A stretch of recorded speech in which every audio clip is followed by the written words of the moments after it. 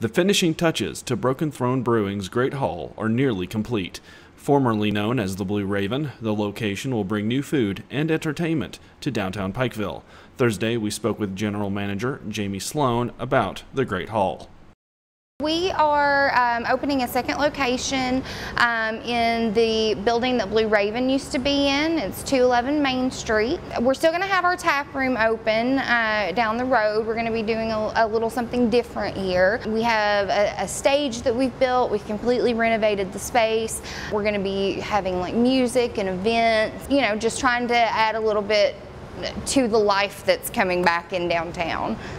Since Broken Throne's original opening in 2019, Sloan says they grew past their space and needed a new location to brew beer. Along with beer, Sloan adds they'll be serving pizza by the slice as well.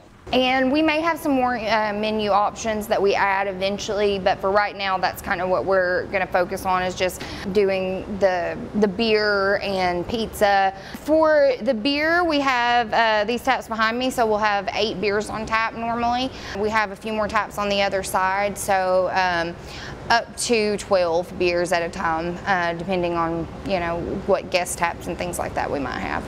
Here at Pikeville Medical Center's Heart and Vascular Institute, we have assembled a comprehensive team of cardiac specialists bringing expertise from all regions of the nation and the world. We have coupled that with cutting edge technology, providing them the best equipment and operating rooms available. The result is comprehensive cardiac care for the people of our region that is second to none. The Heart and Vascular Institute at Pikeville Medical Center.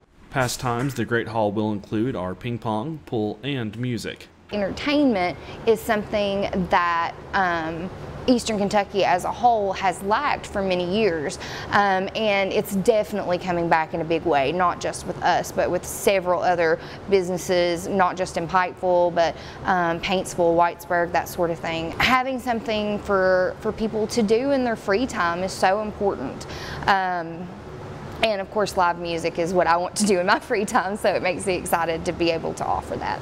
You can catch the soft opening Friday, October 29th.